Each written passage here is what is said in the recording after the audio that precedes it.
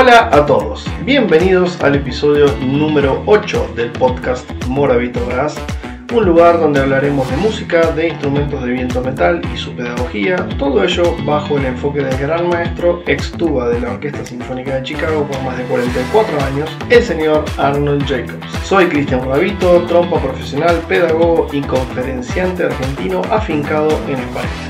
Si quieres conocer todas las actividades que desarrollo, te invito a visitar mi página web moravitobras.com. Y ahora, comencemos.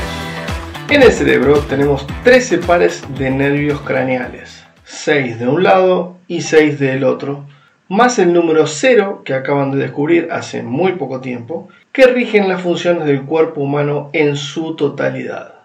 El séptimo nervio craneal es el nervio puramente motor, nervio facial o nervio de la sonrisa o también nervio del beso, que sale de nuestros cerebros y maneja a las cuerdas vocales al hablar y al cantar y también a nuestros labios al zumbar o vibrar desde impartir información.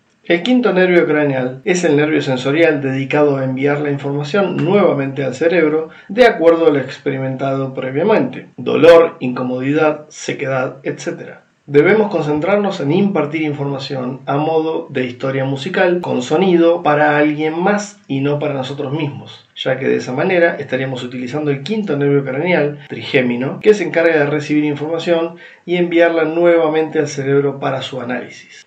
Sé un intérprete que se enfoque solamente en el séptimo nervio craneal. Sé un narrador de historias con sonido para tu audiencia.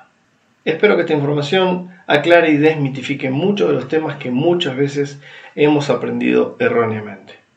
Muchas gracias por vuestro interés y por los me gusta, suscripciones y comentarios en Spotify, Evox, Apple Podcast y YouTube, a cuyo canal os animo a suscribiros, activando la campanilla para estar al día de todo lo que comparto con vosotros. Y como siempre, nos vemos el próximo viernes, 12.30 pm, horario de España. Muchas gracias a todos.